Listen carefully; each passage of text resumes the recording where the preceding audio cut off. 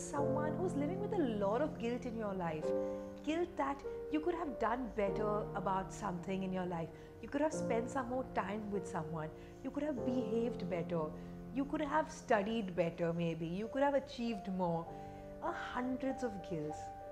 Are you that one person who feels that you want to go back and you want to undo that thing and you want to do the better you could have done?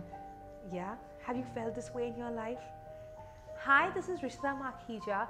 I'm here to help you give your destiny a beautiful makeover. There are a lot of people living with such guilt. This guilt just keeps getting heavier and heavier, and the worst is whenever you want to do something new about something, this guilt will always stop us. This guilt will make us feel not good enough, not worthy enough, make us feel more guilty. The guilt just keeps building up and becomes heavier as we go through the journey. Because guess what? We keep adding on to the guilt. We keep adding on to things. We keep telling ourselves that, oh shit, you could have done better. Oh my god, what did you do? Why did you do this in a certain way? But today I want to tell you about a story about this man who lived with the same guilt. He lived with this guilt regarding his father. His father was a very nice man, always wanted to spend time with him. But this man was always busy working, first got educated, got a beautiful job. When he got a beautiful job, he didn't have good enough time for his father. There were times when his father would die to speak to him. Please come and see me for Christmas.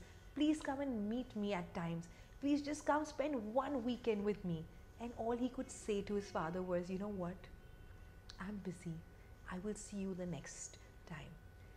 Well, he kept doing this repeatedly where he didn't even have time to speak to his own father over the phone up until at one point where he heard the news that his father was no more and it was too late.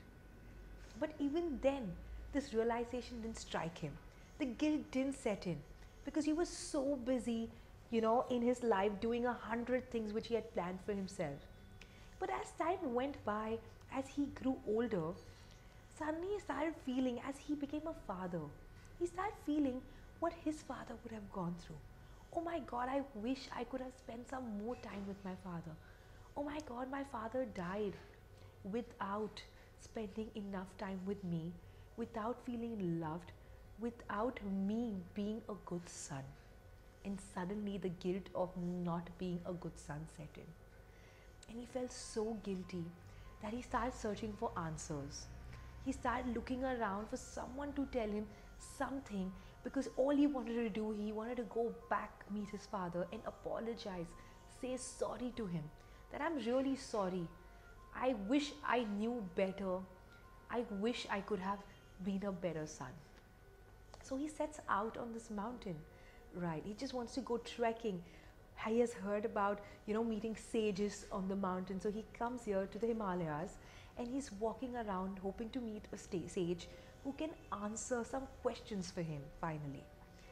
While he keeps walking throughout the way journey finally after day 3 of the climb he spots a sage and he gets so excited that he starts running towards him with tears flowing from his eyes.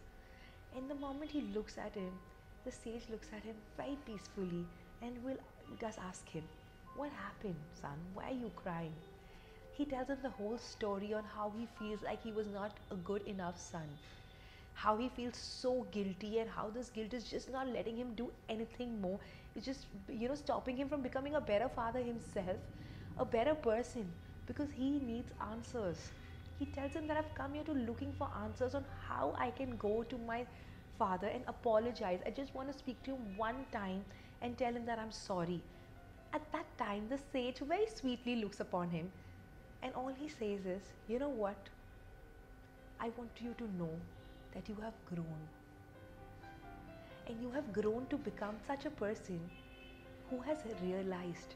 And realization is the biggest form of apology in life.